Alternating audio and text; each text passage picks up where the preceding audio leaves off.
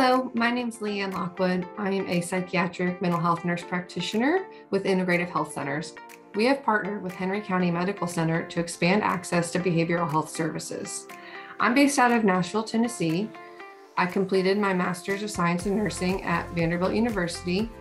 Um, I became a nurse practitioner because I enjoy helping people improve their quality of life and just so that they can show up for themselves and their people and, and live their best possible life. Um, a telehealth visit is just a conversation where we talk about what's going on. I ask a lot of questions and get to know you, get to know um, what different things are happening in your life right now. And then we'll discuss behavioral and medication therapies that could just get you feeling better.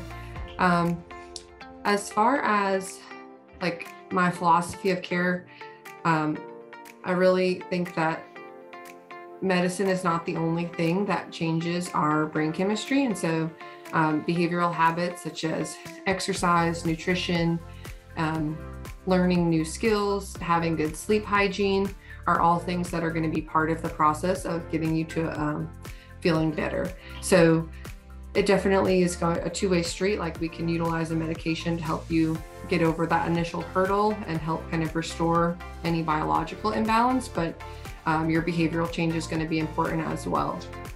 People should seek out care when they feel that things just aren't right. And they maybe are they're too overwhelmed or they just don't really know what to do? We can just have a conversation about what's going on and what might be next best steps. Having an appointment doesn't mean that we need to start a medicine.